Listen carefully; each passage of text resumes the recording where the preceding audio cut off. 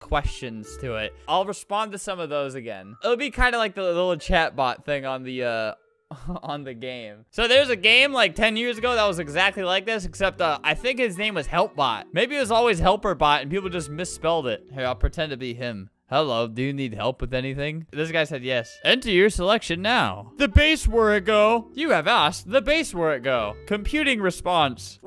What? Computing response. Computing response. Answer generated. Leave and rejoin the game to get the base back. Helpbot, no! Is he concerned for my safety? I am Helpbot, a computer-generated helper in this game. Ask a question, I will think of a response. What is it? What is he doing over here? I think I just landed on them. They Oh probably the thing is they probably think this is me selling it, and they're probably like they're probably like, little Jimmy, you are not allowed to watch Flamingo anymore. They took- I need Robux! Still didn't enter one. Oh, where am I?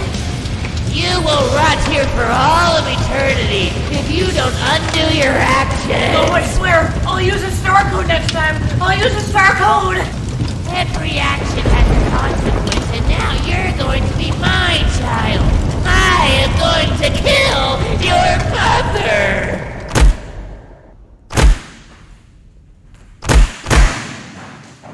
Yes, it is true. If you type in